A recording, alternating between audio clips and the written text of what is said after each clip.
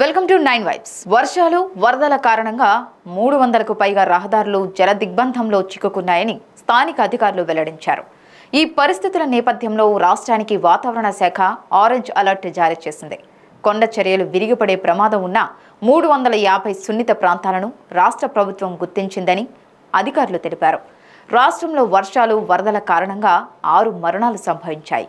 కేదార్నాథ్ బద్రీనాథ్కు వెళ్ళే మార్గంలో ప్రతికూల వాతావరణం కారణంగా చార్ధామ్ యాత్ర నిలిచిపోయింది. వేర్వేరు ప్రాంతాల్లో హిమపాతం వర్షాలు కొండ చర్యలు విరిగిపడిన ఘటనలు చోటు చేసుకున్నాయి. దాంతో వాహన రాకపోకలకు అంతరాయం ఏర్పడింది. వాతావరణ శాఖ అనుమతించిన తర్వాత పర్యాటకులు తమ ప్రయాణాన్ని కొనసాగించాలని కోరుతున్నామని ముఖ్యమంత్రి పుష్కర్ సింగ్ ధామి మీడియాకు వెల్లడించారు.